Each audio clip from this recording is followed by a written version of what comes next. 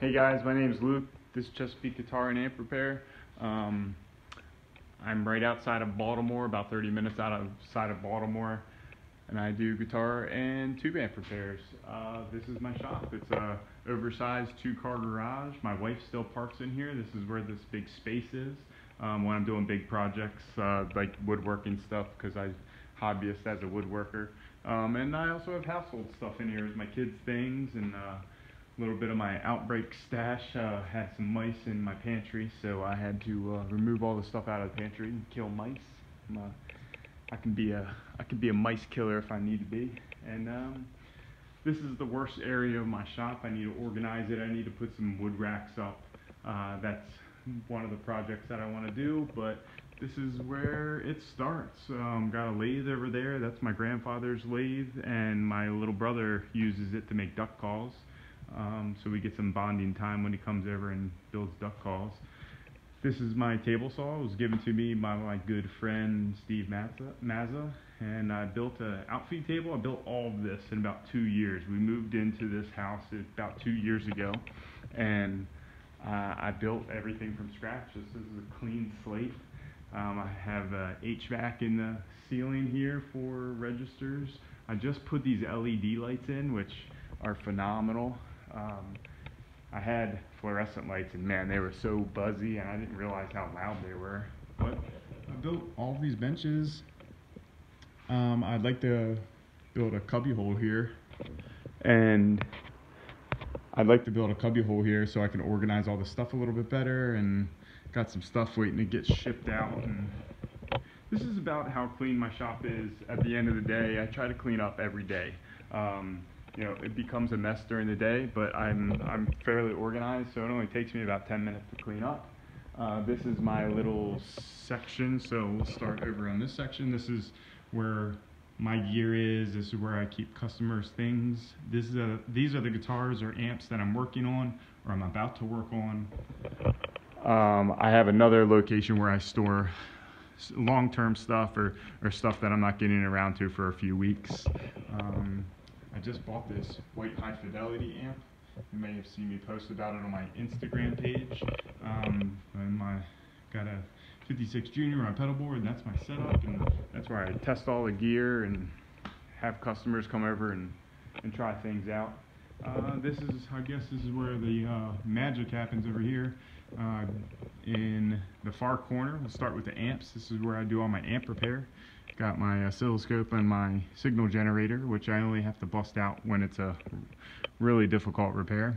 Um, but this is my Variac, and I plug my amp into the light bulb limiter, which goes into my Variac, which I plug, and then I plug the speaker out into this impedance matcher into my attenuator and then from the attenuator it goes down underneath of the bench. Underneath of the bench is a speaker. It's a 250 watt speaker and that's what I test all my amps through. Um, here's all my organization. I like I said I try to stay really organized. Um, my books for reference and notes and cleaners I put all of my harsh cleaners and, and these guys with a hole in the top. Um, these are just like seltzer water that I drilled a hole and then put a chopstick in the top. So alcohol, naphtha, acetone. I try to label them different colors so I don't mix it up. Um, and I try to reuse things and repurpose and be environmentally con uh, conscious. Uh, this is from an old dishwasher. I've been using that for about 10 years. Um, built this uh, little holster for some chisels and screwdrivers and magnet strip and I like having a table saw to make I make a lot of tools with my table saw and cut some slots and these are all my nut files and gauges and can't have enough rulers. And I have another one over there with stuff I don't use quite as often. Tape rack dispenser my tuners and my tape and my this is what keeps me organized. I, I try to keep uh, three or four projects on my to-do list. And then if something goes into limbo I move it down to limbo and add something else to the to-do list. I sell things occasionally and I try to work on my own stuff when I have, have an opportunity. Um, this is my main guitar working bench This is my, uh, this is what I usually use as my vise. Uh, I like it because it's, uh, I don't know. I, I don't know why I like it. It just works well. It was cheap. It was free. I made it. Um, here's my drawers. I'll show you, go through my drawers. They're not as organized as I'd like, but I know where everything is. I did make this little holster, which this, man, that was the most uh, beneficial organizational moment that I took uh, out of everything in the shop. This this thing, I don't have to search for the size of fret cauls anymore. But um, these are the things that I use most frequently. And then got my truss rods and a little Kaizen insert thing that I, I don't know, I came across that little piece of Kaizen insert and put my truss rods in it. Uh, drawer full of cauls, drawer full of specialty tools um, that I use on very specific occasions.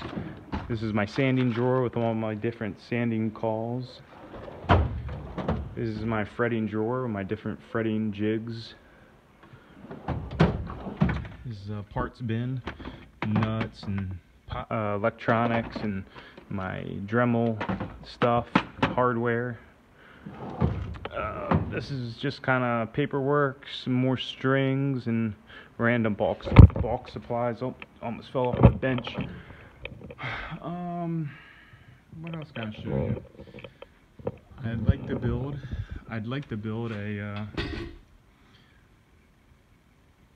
a shelf here where I could slide all of, the amps that I'm working on on the top and then have the combos underneath.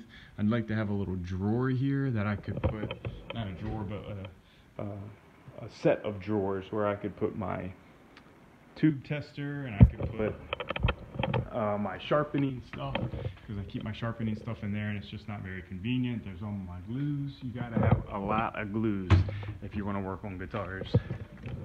Here's all my paint stuff, which isn't very organized, and I wish I could have a different organizational thing for my paints.